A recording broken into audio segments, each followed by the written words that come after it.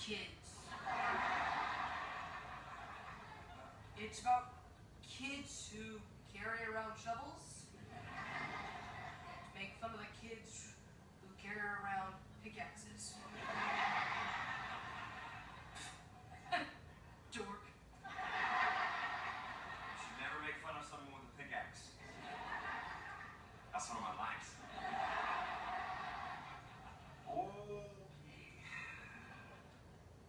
nacional.